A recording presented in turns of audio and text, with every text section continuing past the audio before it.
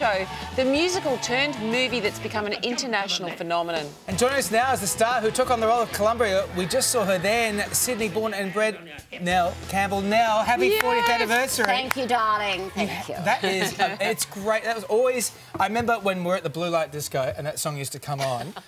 that was always everybody's favourite part of the Yeah. song was when you did your, I'm walking down the street. It's so great. My mother said that my voice could open a can. really? Yeah. and it's opened many cans ever since. Isn't it funny, Nell, that it's been 40 years and Rocky Horror is now, you know, popular with a whole new generation of fans, isn't it? Oh, we're down. I think we've gone through three generations now. I have grandparents and their children and grandchildren coming up asking for my autograph now. When it's you- fabulous. Because you were in the, in the very original with Patricia and Tim Curry. It was up in a room in London somewhere in the West End. Yeah. And did you Uh, know that then? was the theatre upstairs of the Royal Court. Theatre upstairs Royal Court. Yeah. Well, it's good. It's a professional theatre. I should have got that right. Wait, but can they stop?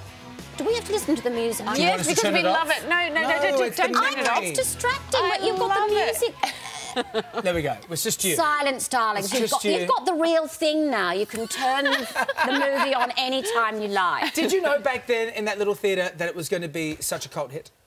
Of course we did, I thought you were going to say, of course not. Darling. You know, some of us are just born cult sensations. Sorry, David, but Nell, did you have a bizarre audition for the role of Columbia? What happened in the audition? well, nothing bizarre happened. Slept with the director and things went from there, you know, which I call an audition. Hello. I don't know how you got your job, Sonia. David, I do. Oh, yeah, on. I, I did. And Wayne is, a, David's Wayne is a great director. Uh, it's such a memorable role. I mean, and you're still sporting that little bob hair and stuff like that. Did you... uh, Wait a minute, you, wait a minute. The did you create this I- look? that was a different haircut. oh, it's like David. shorter, slick, isn't it? That was more of an Eton crop. Oh, it's an Eton Yeah. And, and what do you call this one then? This is a, I call it this the classic bob. Okay. Oh, it's also called a Buster Brown. A Buster Brown? Yeah. Who's Buster Brown? An old friend of mine. Can't talk about him right now. So was that was that a, a, a styling, you know, suggestion for the film, or was it just your look? No one styled me. Right, it was your look completely. Uh, the, but the costume, if I'd had my choice, my, I'd have had Magenta's costume. I was more because as a person, I, I'm more in, as the the very white face, the red lips, and the black and white, and I've always loved a maid's uniform. Who doesn't? Yeah, I have several in my wardrobe. I'm now more interested in Yeah. your wardrobe. but um, but the hair was almost. I always had my own haircut, Yeah. and uh, and the, so yes, I wouldn't have. I wouldn't have chosen.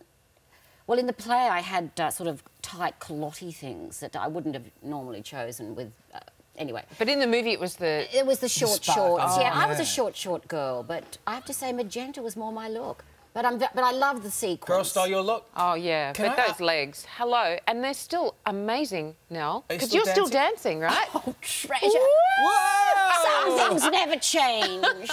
Whoa. that, that extension. I know, you never lose it, Sonia. Uh, you know, it, was, it was kind of like a, a jumping off point for so many stars like yourself. Meatloaf, yeah. who was your love interest. No one knew who Meatloaf was my at the time. love interest. Well, I'm you know. touched to hear that. Yeah. No one knew. It was like working with a young Meatloaf. Would he do anything for you in love? He, he, in real life, he did. Yeah? Yeah, he's a darling of a person. Really? Yeah, and um, yes, we we'd not heard of Meatloaf when he came to do the film. Was he called Meatloaf then? He was called Meatloaf. Once Meatloaf, always Meatloaf. Was, was it when you said to is it Meatloaf or just meat? Meatloaf. Meatloaf. Yeah. Okay. So you didn't know. No one knew who he was. It was young meat. Yeah. well, Susan Sarandon and Barry Bostwick, we didn't know who they were No, either. Tim Curry? Yeah, Tim Curry. We all knew, you see. A lot of us in the film were in the original In the theatre theatre, production yeah. Yeah. from the theatre, uh, the Royal Court Theatre. So we obviously all knew each other. And then 20th Century Fox insisted we have two American stars Sure. to be in those in the roles of Brad and Janet. But we actually hadn't heard of them at the time, but there they were. Uh, otherwise, you would have had the original London folk, who would have been absolutely brilliant. Julie Covington, who was a Sure, she's still a big. she was a big star after that. she was an incredible person, and she would have become a huge star. Susan Sarandon is faultless in the role. I have to throw, say Yes, that, and yeah. That as is is. Barry Bostwick. Barry, people still think Barry is Brad, Because he kind of still looks the same, Barry. If you see him even now. but he gets treated as if he is Brad. That's hilarious. Yeah, yeah. Why do you think this production has, you know, stood out when when so many others have faded away. Now, this one, Well, no one does this with the chorus line, do they? no, No. that's true.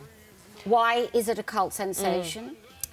Okay, uh, these are my feelings. Um, number one, this it, it's got all the songs are fantastic. People for, seem to forget that, but the, it, it holds together. So this the script, at, which is very short and tight, mm. and the songs are fantastic. The sex element is major. Mm. Okay. What other musical really has sex in it where there's, you know, cross gender, bi, hetero, trans, the mm. whole goddamn confusion? It's not in Les Mis, I'll tell you there. that. It's all there.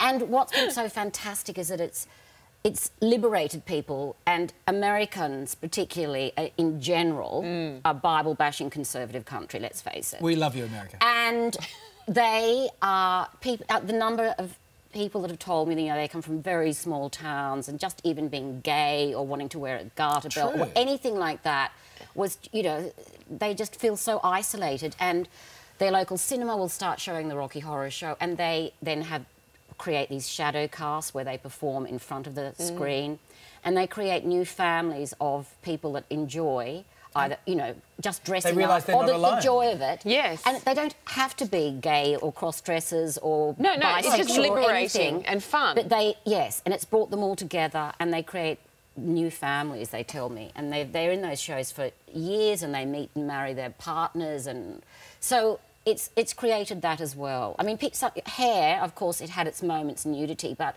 very dull. Very yeah, good. very. It's a very dull. Once you get your kid off, where do you go from there? Yeah. I want to say happy 40th anniversary, first of all, and second of all, can we all have a dinner party together? Because you're amazing. Amazing. Oh, Thank my you so much, You're Nell. fabulous. Thank Thanks, you. Nell. Still to come, playing